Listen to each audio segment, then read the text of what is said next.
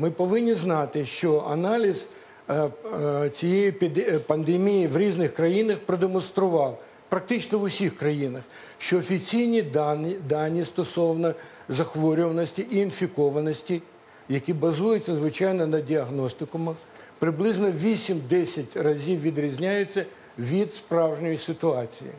Тобто ми 8-10 разів і в Україні, ми не є винятком, у нас більше 8-10 разів людей як інфікованих, так і вже хворіючих, тільки без видимих ознак. Маленький приклад. Ісландія зараз одна з небагатьох країн, маленька країна, 360 тисяч населення, вирішила, що вона проведе аналіз всіх громадян.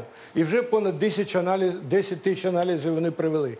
І що ви думаєте? Визначило, що серед цих 10 тисяч осіб половина є інфікованими, але які не, які, е, е, не мають ніяких ознак е, е, захворювання, але є позитивні на вірус. Не знаю, чи так буде в Україні, сподіваюся, що ні. Але треба бути готовими до того, що поки ми не проведемо діагностику людей, у нас будуть люди, які не будуть мати ознак захворювання, але вони будуть носіями вірусу.